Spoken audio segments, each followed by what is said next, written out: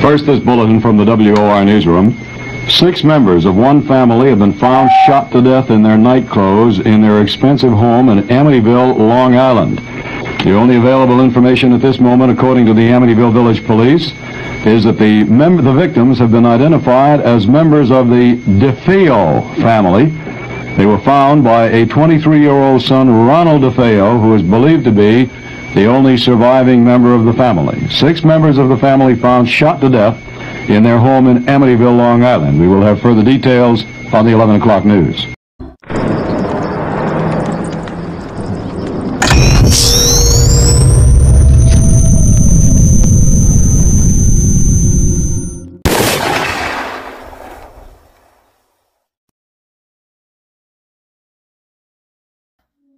This week, on the paranormal side, we're going to be talking about the Amityville horror case.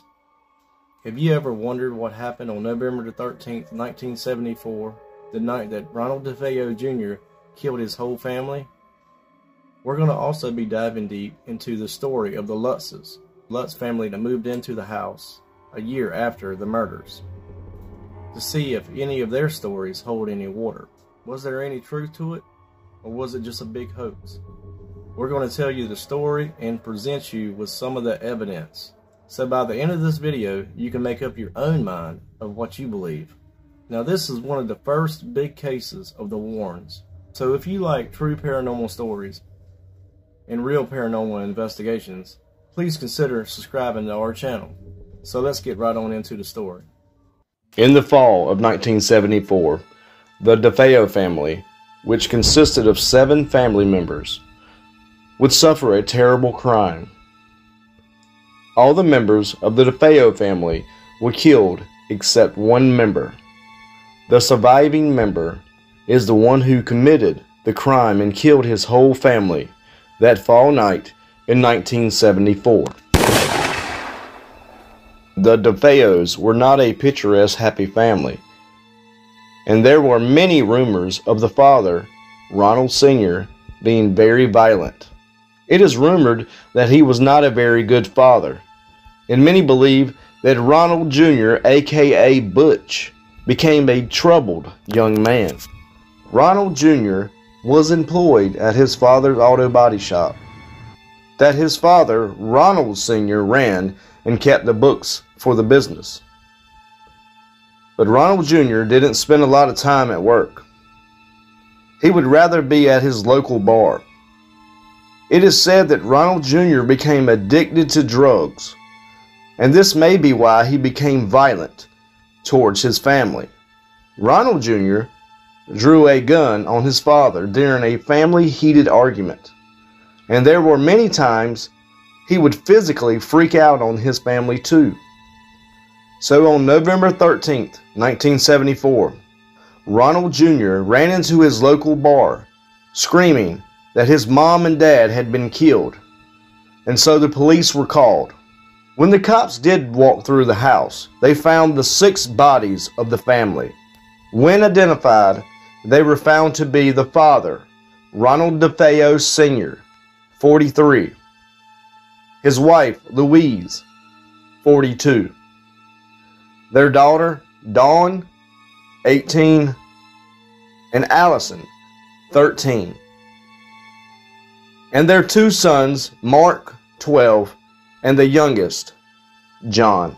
And the guy who called in the crime was Ronald Jr., 23, the only survivor of the family. None of the family members' bodies show any sign of struggle, and very oddly, none of the gunshots woke any of the family members up, and the bodies were found lying face down in their beds. The weirdest thing of them all is that none of the neighbors heard the gunshots, and it is reported that there were no silencers found or used during the crime. The only thing that some of the neighbors reported was just hearing the DeFeo's dog barking, but none of them reported hearing any gunshots. After Ronald Jr. killed his whole family, he took a bath and got ready for work and later that day went into his favorite bar and reported the murders. to the police around 6 p.m. He came, he opened the door, and he was screaming, "Come on, help me! Somebody shot my mother and father!" And everyone ran out of the bar, and that was it. They Did all you took go? off. No, I had to stay. I was tending off. They all jumped in his car and took. Today, police combed the DeFeo's handsome three-story house for clues while divers explored the backyard swimming pool for the still unfound murder weapon. Police have been questioning the son Ronald and now say he is being, quote, safeguarded. Investigators say without explanation that they now feel young DeFeo was in the house at the time of the murders, but they're not yet considering him a suspect. And so We forth. have no suspect at this time. Is We have no indication of the motive at this time. What about Ronald uh, DeFeo, the son, the surviving son? Ronald is being safeguarded by the Suffolk, Suffolk County Police at this time. Why safeguarded? Why? Because the six members of the family dead, and we don't know why, and he's the sole remaining member. The author also a suspect? He's not a suspect at this time. Few people in the neighborhood knew the family well, but those who did described them as close-knit. well, I figure, I think they were just very sweet, very religious people, very family-minded people. And that's about all I could say. Very good, very generous, this type. Very, very close with their children. There's one element in the usual mass murder story which seems to be missing from this case. There's no sense of fear in this community, no feeling of a mass murderer on the loose. People we talked to seem to feel that whatever was the motive for this crime, it had something to do with the family. It's not something that's going to return to bother anyone else. In Amityville, Long Island, Phil Barno, News Center 4. Ronald Jr. claimed that it was the work of a mafia hitman and that there were two other accomplices with the hitman. Ronald Jr. said when the hitman showed up that morning to his house that he put a gun to his head and made him kill his family members one by one. It wasn't long though before his alibi started to fall apart. Ronald eventually broke down under interrogation and admitted to killing his whole family. The supposed hitman had an alibi that he was out of town during the murders. Ronald confessed that once I started, I just couldn't stop. It went so fast. Now, Ronald's story has altered many times. It is really hard to tell what really happened. And depending on the interviewer and what Ronald believed that the interviewer wanted to hear, the story that night changed every time. Well, DeFeo seen him. My father. He's the cause of all this. The only way to get rid of him, he's got to go back to hell. I lived in that house all those years. I never saw anything really peculiar or strange. Never once. Anybody buys that house and got kids and move in there, come on, man. You got to be, you really got to be something wrong with you. One of his claims was that he was possessed by Satan, and that is why he did what he did. He also claimed to be in the basement during the time of the murders, getting high and watching a war movie. And when the war movie was over, a black shadow person came into the room to hand him the gun. So, with his ever changing story of that night, it's hard to believe any of the stories Ronald told. Needless to say, Ronald Jr. was found guilty. He was sentenced to six consecutive sentences of 25 years to life on December 4th, 1975. Amityville horror goes way back before the Lutz family, who moved in there and bought the house later, mm-hmm. and were fled 28 days later. It goes back six months before the DeFeos were murdered. Mr. DeFeo mm-hmm. went up to Montreal, Canada. He went to a shrine where many miracles had occurred. A lot of people don't know this. He went to that shrine and he brought back from there a priest, an exorcist, who said masses in the house. Why? If this was a hoax that was created by the Lutz family, why six months before this man was murdered and his family was an exorcist in that house? While the priest was saying a mass and performed the exorcism rituals, candles were blowing out, doors were opening and closing. There were footsteps all around the house. Ronald DeFeo, who was the murderer of his family, fled the house. He didn't stay there. He did not want to stay there while the priest was in that house. What caused him to leave? Obsession? Possession? Who can say? About a year after the DeFeo family murders, in the same home of the DeFeo's residence on Ocean Boulevard would become the dream home of a new family, the Lutz. We first saw the house in the fall of 1975. Went over with the broker. She said, I wanted to show you what the other half of Amityville lived like. Pulling up to it, she started to tell us things that the house had as far as the number of bedrooms. When we walked in the house, Kathy looked around right from the foyer and just started smiling. She really fell in love with the house. It was very obvious. And we walked through, it had six bedrooms and a boathouse for our boat and two-car garage and a heated pool and a basement on the water, which was very rare. All the things that we talked about, we found in one place. For George and myself, we could bring more things together within this marriage. A new home, space for everybody, space for growth. Now, if you've ever wondered if a residence can hold residential energies from a traumatic event of its past, the house in Amityville would surely be a classic case of a haunting. Newlyweds, George and Kathy Lutz, finally found their dream home. Kathy had three children before meeting and marrying George. The Lutz family consisted of five family members at the time. The stepfather, George Lutz, the mother, Kathy Lutz, and the kids, Daniel Lutz, Christopher Lutz, and Missy Lutz. After looking at the house, they were informed of the home's history. But despite its murderous past, the Lutz decided that they loved the house and they wanted it to be theirs no matter what. They couldn't pass up on the bargain price of $80,000. And she explained to us about the DeFeo massacre and wanted to know if that would change our view on the house at all. We discussed it among the five of us, and there was no problem. It was, you know, it was unfortunate that that had happened there. It was reflected in the price, of course, but we weren't superstitious, thinking that there was anything wrong that way. There was a sign outside the front of the house when we first looked at it. It said High Hopes. When I look now, those same high hopes were within us. Moving into a home with a past like that didn't bother the Lutz very much. But never in their wildest dreams did they foresee the events that were going to unfold over the next 28 days. Their dream home was about to become their nightmare. As they were first moving into the home, Kathy called a local priest. As is common with many Catholic families, Mrs. Lutz asked her parish priest to stop by and bless the house. This blessing began in the sewing room and seemed to set off a chain reaction which would jeopardize the lives of everyone involved. Because of criticism later leveled by other church officials, the priest has never before talked to anyone in the media.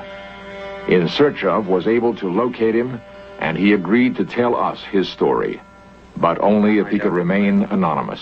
I was blessing um, the sewing room. It was cold. It was really cold in there. And I thought, gee, that's this is peculiar. You know, because it was a lovely day out. And, and uh, it was winter, yes, but I, it didn't account for that kind of coldness. I, I also sprinkling holy water. And I heard a, a rather deep voice uh, behind me say, get out. It seemed so directed toward me that I was really quite startled.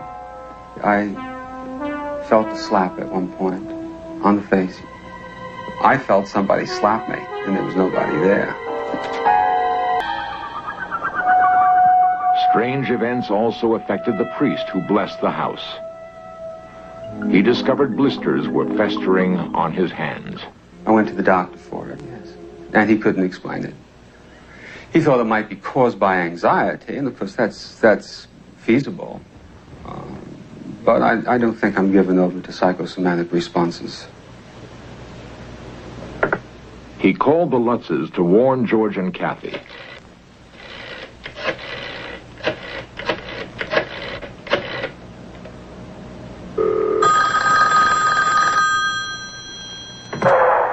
Kathy's interference prevented any communication. Kathy? He could never get through. Hello. Hello, Hello, is It wasn't until much later that we learned what it was that had happened to him while he was doing that. He did stop us before leaving and say to us that uh, not to spend too much time in that sewing room. For some reason, he felt uncomfortable there. Times when Father Ray would attempt to call us, and the connection again would be broken up with static. When we first looked at the house, very first time, we noticed no flies anywhere in the house. Especially when you think back now, they were limited in particular to the sewing room second floor. Same bedroom that Father Ray had asked us not to use as a bedroom. The longer we were in the house, the more flies there were in that room. I don't have an explanation for how or why, but that's where they were. The paranormal events began to unfold as soon as the priest left. George and one of his stepsons, Daniel, witnessed the door to the boathouse open and slam shut repeatedly and with great violence. The family dog was really disturbed by this. His pen was right beside the boathouse. In an attempt to escape, he jumped over the fence of his pen, suspended above the ground by his lead, seemingly trying to hang himself. But they rescued the dog just in time. Now, George was a businessman, but as soon as he moved into the house, his attitude changed by becoming very ill tempered and cranky towards his new family. Within a week of moving in, Kathy's hand had been touched by something unseen. George soon found himself waking up at 3 a.m. every morning and wasn't able to go back to sleep. That is what is believed to be around the same time that Ronald DeFeo carried out the murders a year prior. On another night, George was outside and looked up at his stepdaughter's Missy's bedroom. George said that he seen what looked like a pig with glowing red eyes staring at him. Knowing that his stepdaughter was supposed to be in bed asleep, George ran upstairs as fast as he could. Missy was asleep. He couldn't explain what he had seen.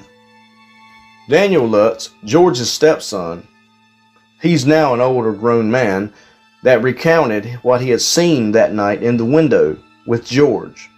And I quote, It would have been what looked like a cartoon character of an angry pig with wolf like teeth. When he and George went upstairs to investigate, they found a rocking chair moving back and forth by itself. I saw eyes looking down at me from Missy's bedroom window when I would be coming back from the boathouse at night. I would run into the house, run upstairs, and there'd be nothing there.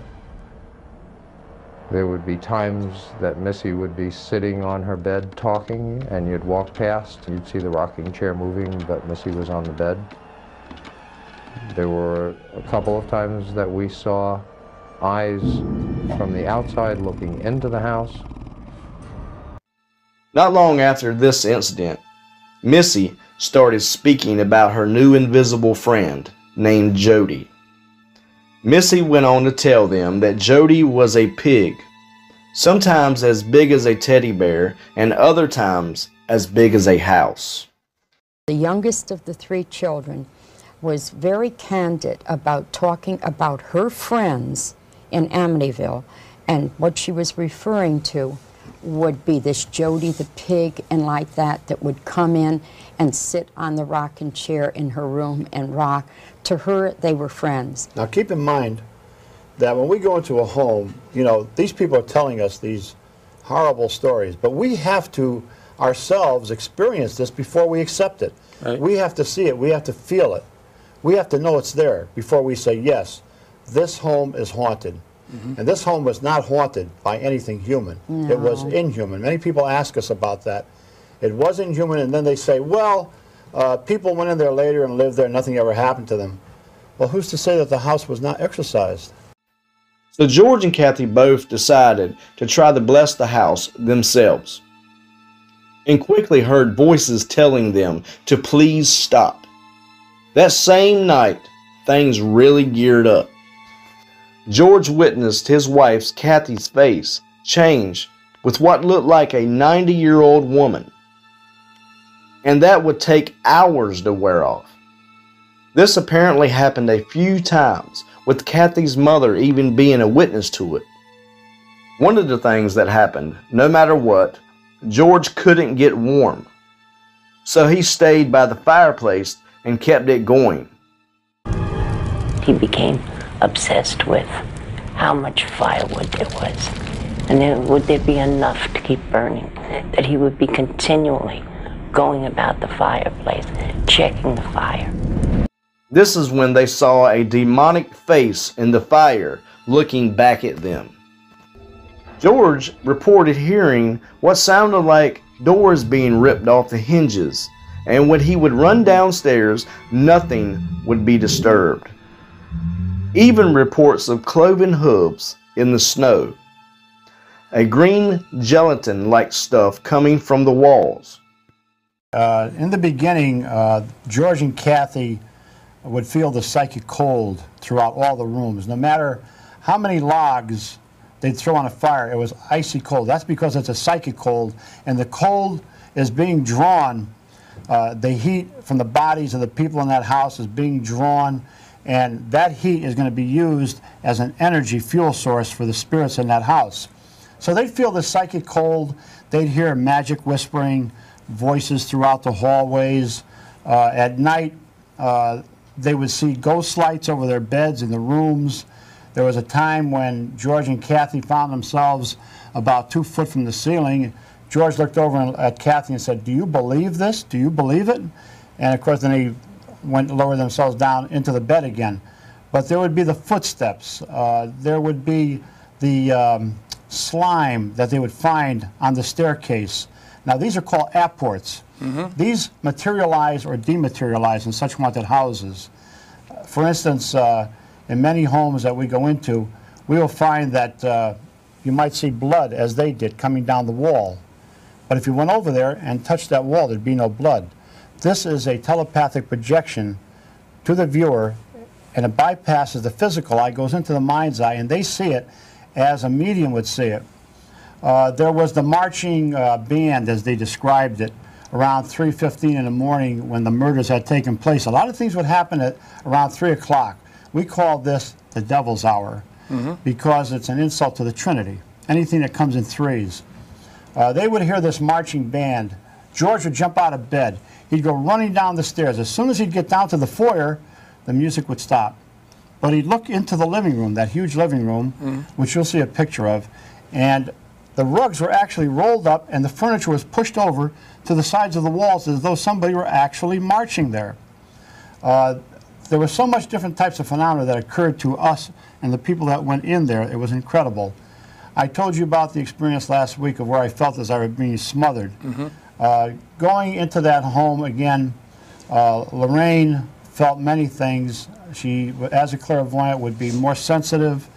Mary Pascarella who was uh, the director of the Psychic Research Institute in Hamden, Connecticut, never went into a haunted house after that. She gave up the work Is because right? she was so badly affected by it. Mm -hmm. The cameraman uh, that went in there with Channel 5 news team uh, had heart palpitations. These guys, they were in battles in World War II. Of course, it bothered them but never as much as going into that house there. Well, it was the physical effects on their body, Tony, mm -hmm. that was bothering them. And then one of the scientists that had come up uh, from Duke University, he became so terrified in this home, and the chair that he was sitting on actually went right backwards with him in it. They had a real hard time just stabilizing him emotionally in that home. Mm -hmm. But it seemed like, and it's true to the fact that people are affected on their weakest, most vulnerable levels.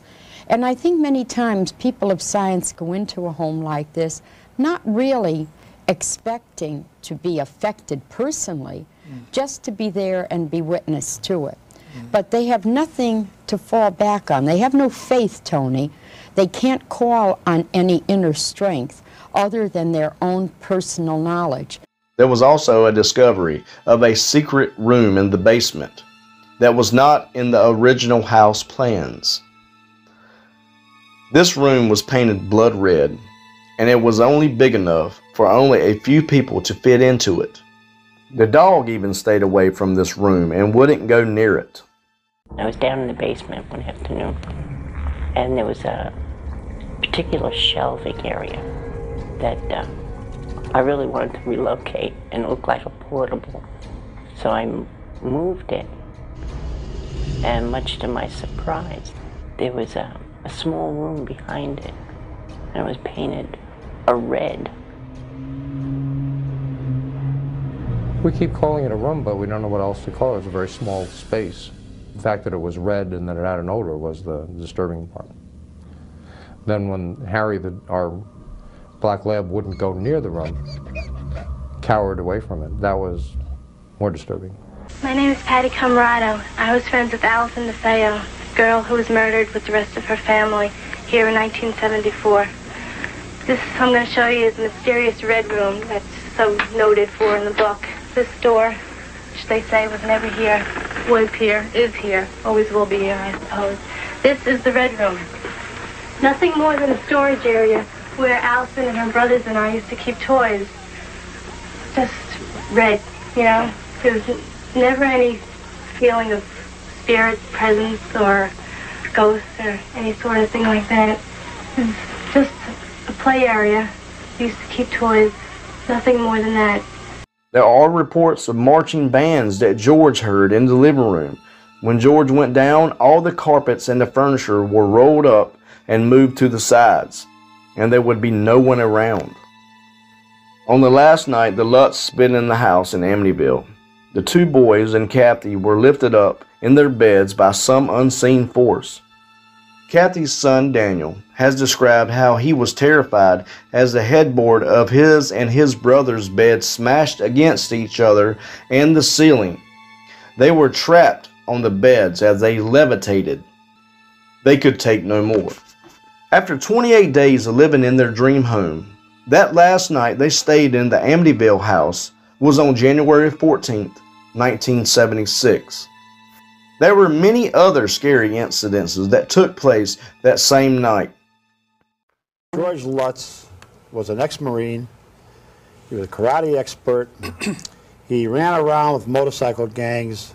We're not talking about any altar boy here. We're talking about a rough, tough guy who, after 28 days in that house, fled, left everything behind, took his wife and children, and went off to California. See, he was the type of person, Tony, that felt like he was had to always be in control. He would go out on the landings. It was three stories high. The home is very beautiful. The interior of the home is very formal and it's very beautiful.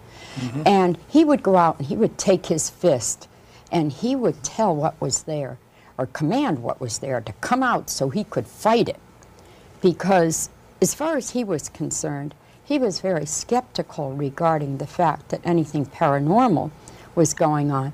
At the time that this first began, he found it difficult because of his background to even believe in a God, never mind believe that something of this nature was taking place. They were so afraid that the Lutzes were driven from their dream home, running out in nothing but their clothes, abandoning all of their possessions, never to go back. They were definitely afraid of something. To the house, like who was the gentleman that, or people that called you in? Was it the Lutzes that called you in? No, it was not, Tony. It was Marvin Scott who called us in. He told us there had been a tragedy in that home. He didn't go into detail regarding it. He told us that it was a prominent family. Mm-hmm. He, he also told us during that very first conversation that the family that were living there at the present time had fled and left all of their possessions behind. And their viewers were very interested in the history of that house and what exactly might be wrong with the home. That's how we first became involved. Mm-hmm. Now, I had to tell Marvin Scott at that time that there was no way that we could go in that home without an invitation and permission from the family, which came very readily. But realize when we met with uh, George Lutz, not Kathy, because Kathy and the children were not there. When we met with George, he wouldn't go anywhere near the house. He met us at a pizza parlor and Really? sat with us and talked because he was so frightened. And we didn't even know how bad it was that day, but as she said, George Lutz wouldn't even go to that home. He said, there's no way I'm going into the house. And when I asked him at this restaurant where we met him, I said, Mr. Lutz, what happened to you in that house? He didn't say anything. He just looked at me. He said, you know. I said, I don't know, Mr. Lutz. I said, what happened to you in the house? He looked at me again. He said, you know. I said, I really don't know. I was getting a little irritated because I wanted to find out what kind of experiences this man had, but he was actually afraid to talk about what happened for fear that mm-hmm. would happen again mm-hmm. because at his mother-in-law's house at Deer Park, when Kathy himself and the mother-in-law would start talking about what happened there, things would happen in the house at Deer Park. In Be- fact, because George of and Kathy recognition. levitated in that house too. Yes, They they, levitated. they Oh, yes. levitated both. They they had phenomena follow them from Amityville. Now, Tony, we know this happens.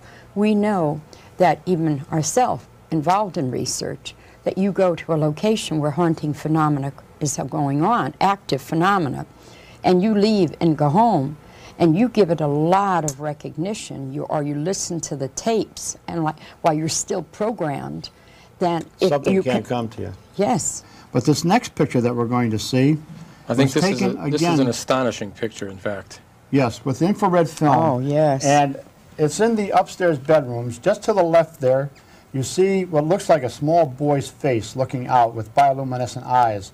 This was the room of one of the young boys who was murdered there. Isn't that Now, eerie? a lot of people would say, well, is that the spirit of the young boy? No, it is not the spirit of the young boy, but it is a diabolical spirit with luminescent eyes that appears in that home to confuse the investigators. A- it- you think that is a evil spirit, Ed? Positively. Everything about this house was evil. You know, a lot of people say, well, you know, I was in that house one time and nothing ever happened to me. It's not that a house is haunted 24 hours a day. You don't walk into a haunted house and see ghosts flitting all over the place. Mm-hmm. After 9 o'clock, the psychic hours start, 9 to 6 in the morning. 9 o'clock, the energy starts to build up because of the darkness. Mm-hmm. Then you start to get what we call the infestation in a house like Amityville. First, you hear the little knockings, the rappings. Then you might hear pounding sounds. Then you might hear crying or sobbing, uh, hysterical laughter. These are the types of things that actually happen in these homes. Mm-hmm. But pictures like this, taken with infrared film, the camera is neither for nor against the supernatural or Right. supernatural world. Right. It only takes what it sees. Mhm. And what it sees here is a spirit of a diabolical nature in that room. There may be things that may have happened in that home over those 28 days that we will never know about. Kathy's son Daniel, now an adult, tells another tale. One that he was denied a chance to tell when he was younger. He states that all the hauntings happened and were triggered by George Lutz. Daniel says that George was a man who liked dabbling in the occult, and he believes that George was directly involved with triggering what was going on in the house. And it was kind of like a magic trick that had gone bad that he couldn't shut off. Daniel has collaborated his mother and his stepfather's story of the paranormal happenings in Amityville. Christopher, Kathy's other son, he's also said that the hauntings were no hoax. But he says his stepfather George brought the troubles on himself by dabbling in the occult also. When we moved into the house, we were practicing transcendental meditation.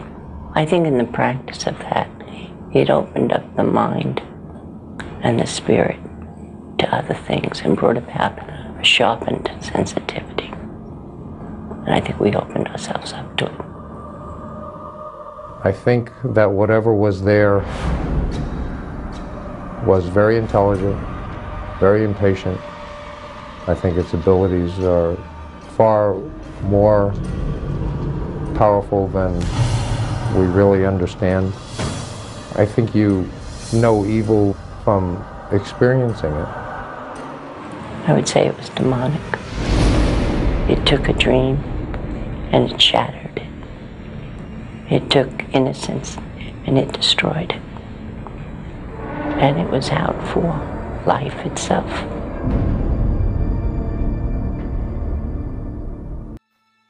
It is believed that the Montauk Indians once thought the land on which the Amityville house sits was infested by demons.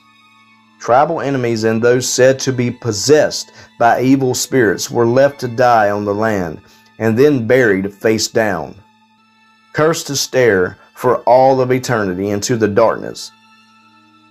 Another legend about the Amityville house land dates all the way back to the Salem witch trials of the late 1600s. A man named John Ketchum is said he was forced out of Massachusetts for practicing witchcraft. He set up residence on or near the spot of the Amityville house. It's said that he continued his devil worship up until the day that he was buried somewhere on the property. But him fleeing Salem over practicing witchcraft on the land has never been verified. This is where the Shinnecock Indians had an enclosure. Yes. That's where it all started with the Shinnecock Indians. They had an enclosure right there where they put the sick, the mad, and the dying. Uh-huh. Demonic spirits, evil spirits, are drawn to the sufferings of human beings. And this already had an aura of disaster about it. John Ketchum was the man who built a small cottage right there where the Amityville home is at the present time. And after his, or prior to his death, mm-hmm. he had said that he wanted to be buried on that land. Now, he was ousted from Salem for his mm-hmm. witchcraft practices. So he didn't have exactly a good track record. Now, people that purchased the property after his death claimed that haunting phenomena occurred there. Now, it was moved, Tony. It was moved to a location a couple of blocks away, and the thing is that Amityville home was built there in 1928, and no family that ever lived in that home was ever a happy family. See on the monitor, uh, it'll be coming up shortly. Uh, if Ed, you could explain what this picture is. Uh, Oh, yes. I, I told you before how Mr. DeFeo had gone up to uh, Montreal, Canada, to the St. Joseph Shrine and brought back a priest with him to uh, exorcise the house. But he also had special blessed statues made that he surrounded the house with. Now, why did he do that? He was not known for being a pious man in any means. He brought him back because something very horrifying was going on in that house. That's why the exorcist and that's why these statues. And you know what, Tony? That this is amazing. People were curious regarding why this family had religious statues all over the yard, and they inquired. And DeFeo, Mr. DeFeo Sr., told the neighbors that he had a devil on his back. Coming back to 112 Ocean Avenue, the families that I found had resided in that dwelling place appeared to have a calamity within each one. There was a drowning off the bulkhead in the back. There were problems for each family. The events that allegedly occurred during those 28 days have since become a legendary story. The Lutz didn't expect to leave their home forever that night, but they just couldn't return. It was just too much for them giving up on their dream home. What they left behind was auctioned off later. It was later found out that the paranormal followed the Lutzes from Amityville, Long Island, all the way to San Diego, California. They still suffered from the supernatural nightmare up until they had a special rite of exorcism to rid them of the paranormal nightmare. He performed a rite in his church that helped us for the rest of our lives. There came a point when we said we have to stop blaming things that aren't right or going right in our lives on the house. But as time went on, it was like a half-life. It, it just slowly went away until today really doesn't exist. Could this be one reason why the hauntings seemed to stop after the Lutzes left Amityville? Because the hauntings followed the Lutzes all the way to San Diego? We bought the house for $80,000. It had a mortgage of $60,000. We had put another 4000 or so down at the closing. When the auctioneer took care of the contents of the house, uh, I think we netted $1,600, something like that, from the sale. We moved to California and we started over. We left the house because the house became uninhabitable. As far as we were concerned, there was no reason to stay there anymore. There were too many things happening too often uh, and confronting us constantly. The, but the, the, those specific events are not something that we try to sit down and explain to anyone else. That's why the book was done, so that that's not something that we have to go through anymore. There were tests, I understand, done on uh, George Lutz. Oh yes, and Kathy George Lutz had three lie detector tests, and so did his wife Kathy, and they passed every one. And the man you see in the background there is Mr. Chris Gugas, Mhm. who was president of the Polygraph Association of America. He said to me, "You know, Ed, after these people passed those tests." He said, it was so frightening what they told me that I started wearing a crucifix again that I had worn during the uh, Second World War War. when I was in combat. That's how bad it was. And then you see Kathy here, she's being tested. And they had uh, voice stress tests taken also, which they passed. They passed all these tests in recounting their experiences in these homes. You know, Lorraine and I have been in hundreds and hundreds of haunted houses, and we've interviewed numerous people all over the world. I watch people, I look at them, I watch their body movements. I know what they should say, I know the, how they should answer me when I ask them a question. Right. These people were right on. Mm-hmm. There was no hesitation. The phenomena that they described to us was the type of thing that happens in this house. So you could say then unequivocally, unequivocally that George and Kathy were not lying, that it was not, a Not hoax. lying, no, no, they, were, not. lying. Now, this story of the Amityville Horror is very controversial, and there is a lot of debate on whether or not these stories are true. Many have claimed that the Lutzes made up the tales to make money. However, to stake all of their reputation and lives on a chance that someone will find their story interesting enough to write a successful book just seems really crazy to attempt a risk like that. Up until the day that George and Kathy passed away, they maintained their story, that they really experienced the paranormal events, that their story was true. If you enjoyed this video, please don't forget to leave a like on this video and please remember to subscribe for more of the paranormal side. So what do you think of the story? Do you believe the haunting story to be true or just a big hoax? Leave us a comment below.